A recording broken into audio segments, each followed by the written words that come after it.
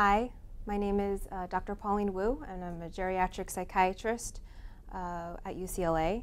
I'm also the medical director of geriatric psychiatry at the Motion Picture Television Fund, and we're soon going to be opening an inpatient unit out in Woodland Hills. Today, we're doing a webinar about the three Ds delirium, dementia, and depression. So, thanks for joining us. And um, if you have any questions, please use Twitter and use the hashtag UCLA MD Chat, and I'll be able to answer those questions after I'm done with the presentation. So here's an overview of what we're going to be talking about today. Um, we'll start with why are the 3Ds important? Why are we even having this webinar today? And then we're actually going to go through each of uh, the three diagnoses independently, and then we'll summarize um, our discussion. So delirium, dementia, and depression are three distinct diagnoses, um, but obviously there are some significance. Um, and it turns out to be that they are the three most prevalent diagnoses in geriatric psychiatry. They're easy to remember because they all start with the letter D, um, but the confusing part is that they do have overlapping symptoms. Um, and um, oftentimes these symptoms make it hard to diagnose um, but that's why we're going to go through each one of them separately and uh, learn about the differences between each one. We're going to start off with delirium. So I'd like to define delirium first. It's a syndrome of acutely altered mental status characterized by inattention and a fluctuating and has a fluctuating course. Um, family members, uh, when they describe someone who's delirious, will often say, oh, you know, they're, they're out of it, they're not acting like themselves. Um, and one of the key findings is that there's an acute onset. So there's really a change um, that occurs within really, you know, minutes, hours to days. Um, and this, this will help differentiate delirium from some of the other things we'll be talking about today. Um, of the three diagnoses, delirium is the one that is considered a medical emergency. And um, it's, if untreated, the mortality rate can be between 10 to 25 percent. So it is a true medical emergency, and it is important that it's uh, recognized and treated. The prevalence of delirium is actually low in the community setting, but in specific settings, the prevalence really dramatically rises. So in uh, 15 to 25 percent of hospital admissions are actually due to delirium. Um, and then as the acuity increases, for example, uh, postoperatively after surgery, um, especially in the ICU, the prevalence rate really rises and we're seeing rates, you know, 50%, 70 to 80%, specifically in older populations. Um, Afterwards, after leaving the hospital, you know, up to 60% of patients uh, that live in the nursing home over the age of 75 can have delirium at any time. Um, one of the biggest risk factors for delirium is having pre-existing dementia. And uh, like I said, we'll, we'll help define that so, so we all know what dementia means. Um, So delirium is caused by many things, um, but they're all really medical things. Um, and one of the most common causes of delirium is infection. And that can be a urinary tract infection. Uh, pneumonia is also a common one. Um, but also there are other imbalances that can cause delirium. Dehydration, uh, electrolyte imbalances. So if you, any of your salts, sugars are either too high, too low, uh, or any of your other electrolytes, that can also cause a delirium. If you ever sustain a fall or a head injury, that can be a cause. If there's a lack of oxygen to the brain, um, as well as it can also be a side effect to medication, particularly if there's too much medication um, or uh, if there's substance use from alcohol uh, or illicit substances. Um, there are specific medications, obviously, that uh, put folks at risk for delirium, and particularly in the older population, um, the, sed the, sedating medications um, tend to cause a delirious state. there are three different types of delirium. Um, first, there's a hypoactive, uh, which is characterized by really lethargy, um, you know, sedation, just not being able to arouse in, in a typical fashion. The hyperactive subtype is more restless, has more physical agitation, um, and then you can also have a mixed delirium where you see features of both the hypoactive and the hyperactive. Often the symptoms of delirium fluctuate throughout the day and um, typically they're worse at night, but not not always. But there there definitely is a fluctuating course, and that is again one of the hallmarks of delirium. The prognosis of delirium is not good if it's not treated. Um, there is a higher rate of mortality for patients um, that are controlled for age, medical condition, um, all the variables, if you control two cohorts, uh, the group with delirium will have a higher mortality rate. Um, there is also a higher rate of institutionalization because delirium alters the mental state in a way that patients often can't take care of themselves the way they, they did prior to um, getting sick. Um, and oftentimes they're not able to go home after a, dischar- uh, after a discharge from the hospital and they'll need to go to a different uh, facility to, to transition. There's also a phenomenon called persistent delirium, and that relates to um, delirium symptoms that persist beyond the discharge from a hospital. And um, the persistent delirium rates vary, but typically by three months, 50% of patients um, have resolution of their delirium. But there are studies that show even after that, even you know after six months, there still can be some lingering symptoms. And so this um, this suggests that really early diagnosis, early intervention um, can lead to a better outcome. So how do we treat delirium? So you have um, a family member who all of a sudden has a change in their mental status. It's acute. Um, there's a, fluctu a fluctuating course, meaning some hours of the day they're better, some hours of the day they're not. Um, what you really want to do is treat the underlying medical cause. And so basically, if there's an infection, you want to treat that infection. If there's dehydration, you want to replenish their fluids. Um, frequent orientation or frequent reorientation also really helps um, in the treatment of delirium.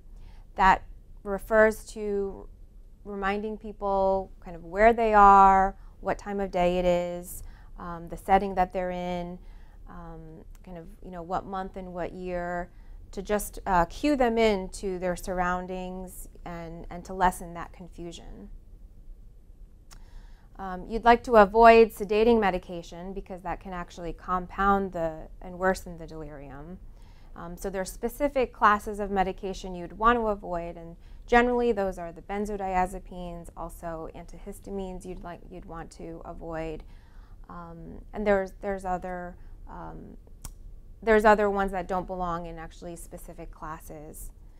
And also you want to provide sensory adaptations, and so that means if someone usually wears glasses that they should have they should have their glasses um, so that lessens their confusion. If they have any hearing impairment um, that they have hearing aids again so that um, a sensory loss or impairment uh, does not worsen the confusion um, and can just tune them into kind of who they are where they are.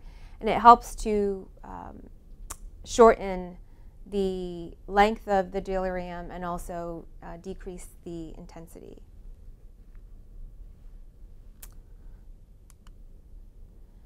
So next we'll talk about dementia. Dementia is a syndrome um, and it's characterized by, number one, a short-term memory impairment. I believe there have been many webinars about dementia, So we'll just highlight um, some of the features of dementia today, um, but I think you can really find more details in other webinars in the series. Um, in addition to short-term memory impairment, there must be one additional impairment in one of the other ways that the brain thinks. So that can be in language, in motor, in sensory memory, as well as executive functioning. That means their ability to think of uh, plans and then execute them. These symptoms have to cause an impairment in the way uh, there's people function in a social manner or an occupational manner. And um, one of the key features is that it's a progressive course. So unlike delirium, which we just talked about, where there's a fluctuating course, um, dementia is a progressive course. On top of the cognitive symptoms of dementia, um, there are also neuropsychiatric symptoms that aren't present in everyone with dementia, but is actually quite common. Um, probably in at least half of the patients um, that have dementia will experience neuropsychiatric symptoms at some point of their illness. Um, these symptoms are often the most taxing to caregivers, um, and they often cause the most distress for the patient themselves, as well as uh, the, the people that take care of them. So neuropsychiatric symptoms can involve mood, uh, agitation, apathy, and psychosis. So with mood, um, the most frequent um, finding with dementia is depression. With agitation, it can be um, a restlessness, an irritability. Uh, there can be wandering with agitation. Um, and so those, those symptoms, like I said, are often very uh, distressing to the patient and the family. There often also is apathy, so that's kind of just a sense of low motivation, a low interest in engaging uh, in activities.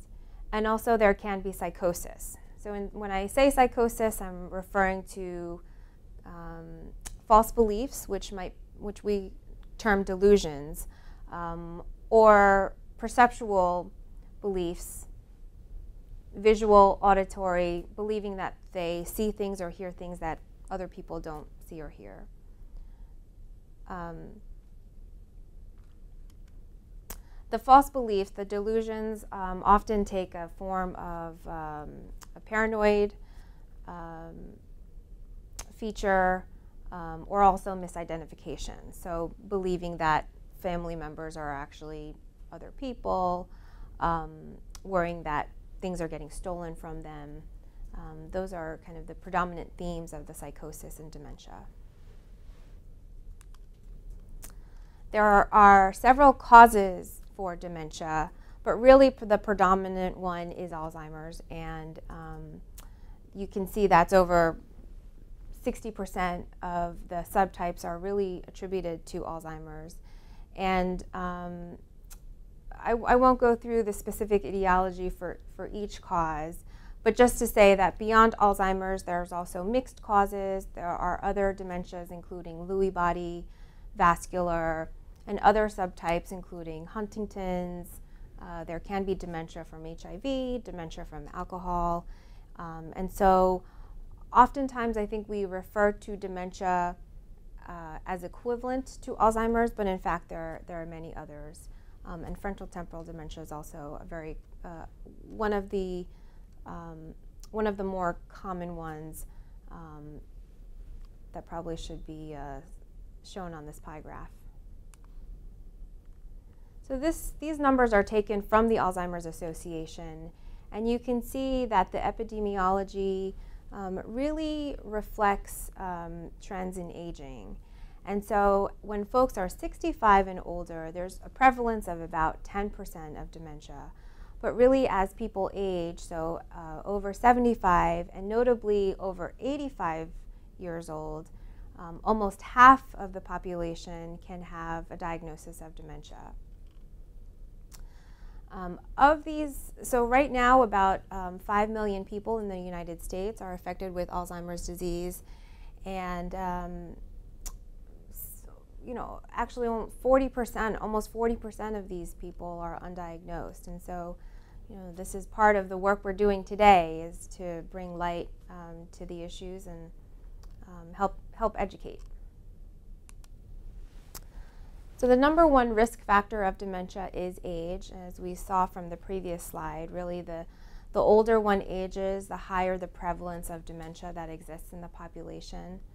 Other uh, less contributory uh, risk factors can be uh, family history, smoking, high cholesterol, diabetes, depression, particularly untreated depression, and alcohol.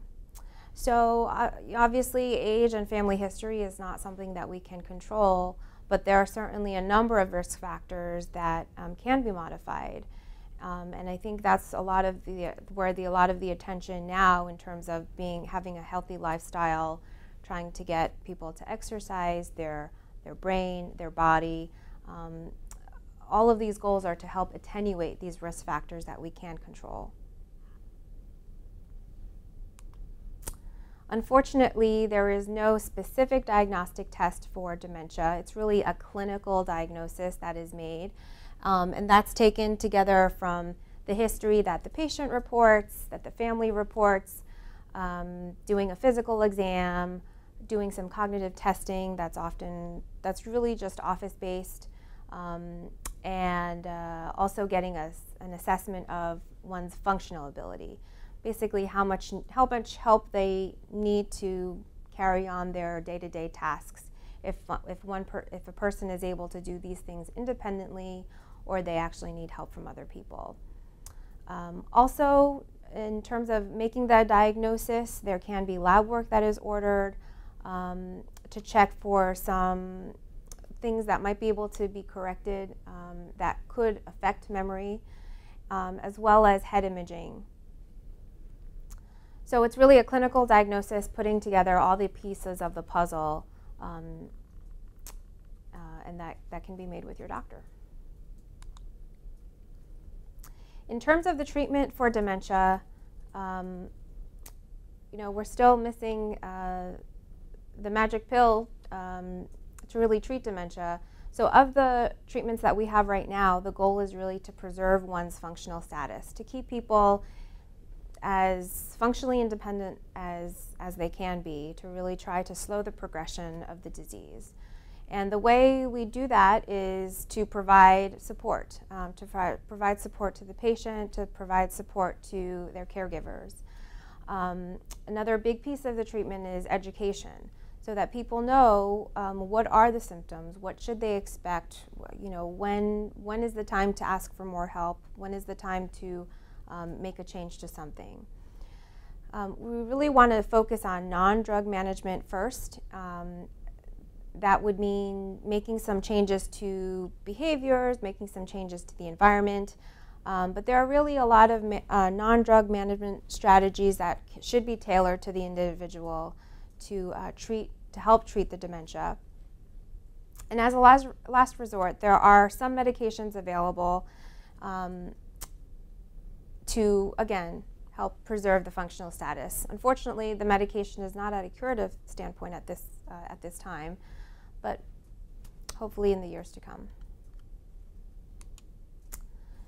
Um, so the last of the triad I'd like to talk about today is depression.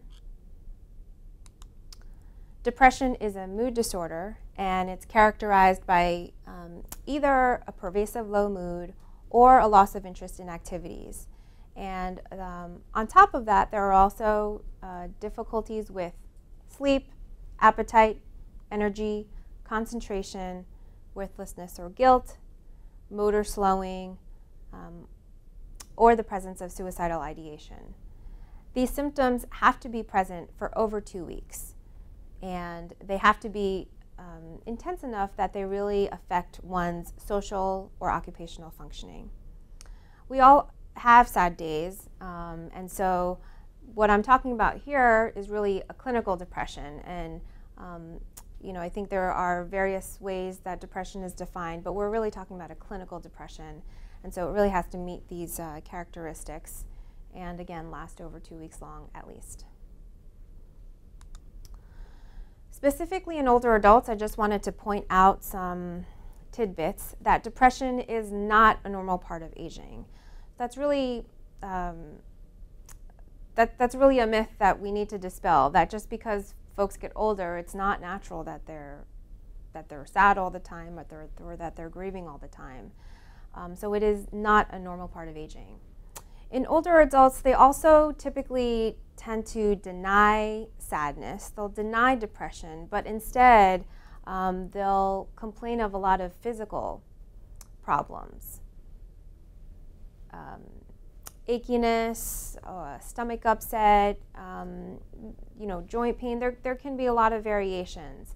Um, but oftentimes, if you just go up, out and ask, Are you depressed? they will deny it. But in fact, um, they can be in an episode of depression and, and they will endorse the physical complaints more um, than the, their emotional state. Uh, depression in adults, older adults, is really highlighted because they actually have the highest rate of suicide. So we're finding that older single white men have the highest rate of suicide. And so this is a deadly disease, and um, so it's important that we talk about it. Uh, depression can also worsen other illnesses. So if untreated and someone has exist, coexisting cardiac disease, um, their depression can worsen their heart condition. Um, and there are, there are other variations of that. So the heart, the heart disease is just one uh, example. And depression can also present as uh, what we call a pseudo dementia. So it's not a true dementia, it's a pseudo dementia, meaning the poor concentration, the poor focus, the irritability that people can have with depression can look like they have a cognitive disorder like dementia. Um, but you'll find that when you actually treat the depression, that those cognitive symptoms um, go away. And so it can cause, like I said, a pseudo dementia, um, and it can kind of confound uh, what we're looking at. The prevalence of depression is very high. It's the second leading cause of disability worldwide. And so it causes people to um, not be able to function at their at their jobs. It causes disruption in their families. It causes disruption in, in the ability that people can take care of themselves. Um, it affects 15 out of every 100 adults aged 65 and older. Um, and of those, only 10% receive treatment. Um, and if untreated, the depression can last months to years. So the prevalence is high, and we really want to bring our attention um, to the possibility of depression um, if you see someone with uh, the mood symptoms as characterized um, before. The good news is that depression is very treatable. Over 80% of cases are treatable. And um, that can be through your primary care physician, it can be through a mental health specialist, um, and there are multiple modalities. And um, I've listed a few of those. So, one can be psychotherapy, kind of uh, talking on a regular basis, objectively, typically for about an hour at a time. Um, another can be with medication. And specifically in older adults with depression, um, ECT is probably the most um, effective treatment that we have to date. Um, and there are other modalities beyond this. And so there is treatment for depression. And um, if I think you know the, the, the rate limiting factor is actually getting the diagnosis, getting people to, to start talking about, about their mood states.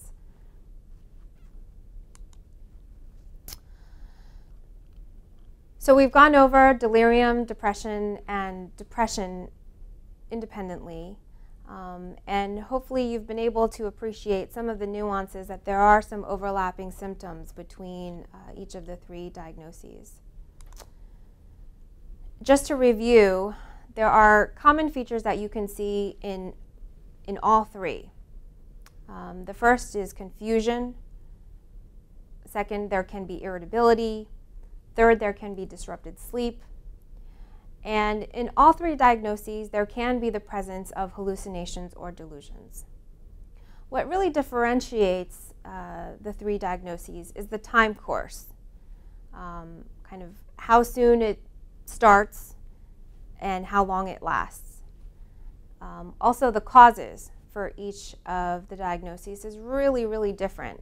And therefore, the interventions, you know, how you really get people feeling better, back to themselves, can be um, very different too. Um, and so, just looking at the common features alone, um, there may be ambiguity in terms of what diagnosis is going on. Um, but that's, that's when you would want to talk to your doctor, to see a specialist, um, to really see what's the, what's the best approach. Um, and here's just a chart um, spelling out some of these differences, specifically between delirium and, and dementia. Um, and specifically, I just want to point out the top few, that the onset for delirium is acute, whereas dementia, it's really, it's gradual and oftentimes subtle. The course for delirium is fluctuating. Some hours good, some hours bad, some days good, some days bad. Dementia really is a progressive course. Um, and over and the duration is also markedly different. So whereas delirium lasts for hours to months, dementia can is really a chronic illness that lasts for years.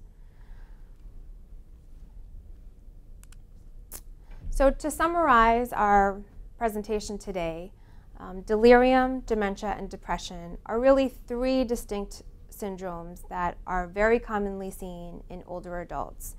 Um, and specifically in my field of geriatric psychiatry, this really is um, what I'm asked to consult on most of the time. The tricky part is, is that the all three can exist simultaneously in the same person, um, and that one increases the risk for the other syndrome. So therefore, diagnosis, really early diagnosis, is the key to treatment and to help shape the optimal outcome. Thank you. And just a reminder that you can um, ask questions on Twitter using the hashtag UCLAMDChat. So I've got a few questions already that have come in. The first one is, I always heard that exercising your brain keeps the neurons connecting and defers dementia. Is there actual evidence that mental stimulation defers dementia? Um, it's a great question, and I think a lot of the research is actually being uh, focused on this specific question. Um, there is existing evidence that exercise exercise can help um, help some of the symptoms uh, of dementia. It doesn't actually um, it's it's not going to prevent in a curative sense. But it can it can delay the onset of dementia. And so, you know, if there's any preventative way that we can delay dementia for, you know, even several months to several years, and that's really with um, exercising your mind and your body. There's really probably a combination and a synergistic effect of the two. Um, that there can be cases where dementia is actually deferred, um, but it's not completely prevented. But stay tuned. Um, like I said, there's really a lot of hot research on that topic. And some of that research is actually being done at UCLA with the Longevity Center. Um, what is sundowning in dementia? So sundowning in dementia is a phenomenon that refers to um, a worsening of the cognitive symptoms, so that's some of the confusion, the disorientation, um, that occurs with sundowning. So typically that happens in the late afternoon, early evening, um, and we really don't know the exact cause of why symptoms get worse around that time of day. Um, there's probably a circadian effect with, um, you know, internally in your brain kind of telling you um, the sun is down. Um, and without that light stimulation, that that's when kind of confusion sets on about, you know, is it day, is it night? It's kind of a very, rudimentary explanation. Um, so sundowning is the phenomenon of the syndrome, the, the symptoms worsening um, at a specific time in the late day. Um, and um, if you see that as a pattern in uh, someone that you know that has dementia, there are ways, like I said, some non-drug management ways, and there can be also drugs to help kind of um, kind of try to prevent the sundowning or try to minimize some of those symptoms. Um, another question is, uh, can diet protect me from dementia?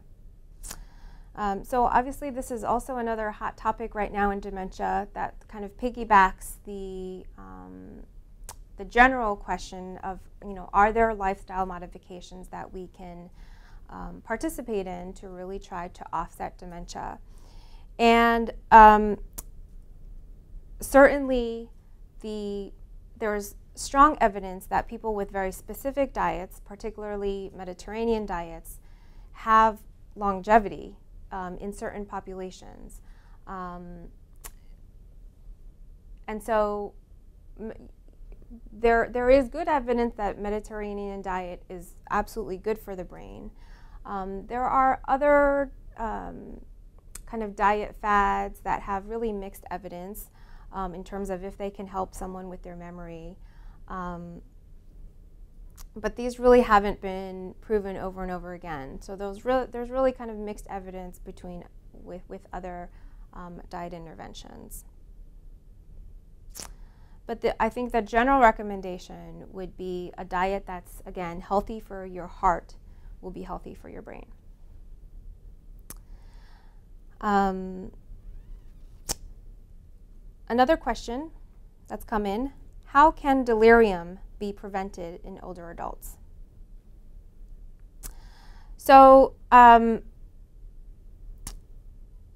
unfortunately, we're unable to prevent delirium completely. Um, but really, early diagnosis, early treatment can really shorten the intensity and the duration of delirium. If older adults have already a pre-existing dementia, um, then I think some of the re reorientation uh, methods that we talked about can really uh, help minimize the delirium when folks have to transition between different settings. Um, oftentimes, changes in environment can really worsen uh, confusion. Um, and so, you know, little things like bringing photographs of um, people that they're accustomed to being around, um, bringing you know one's own blanket, one's own belongings into the hospital. Um, so again, so that so so that people with dementia, if they have to go to the hospital, um, have less confusion with the change in environment. Um, but in terms of complete prevention, you know, there's really no way to do that. You know, obviously, if there's a medical cause causing the delirium, um, we really want to find the medical cause and to treat it. Um, and that's really kind of the best safeguard that we have in terms of shortening the course of delirium. Um, I'm going to see if there's any more questions. So that's it for today. Um, thank you for joining us.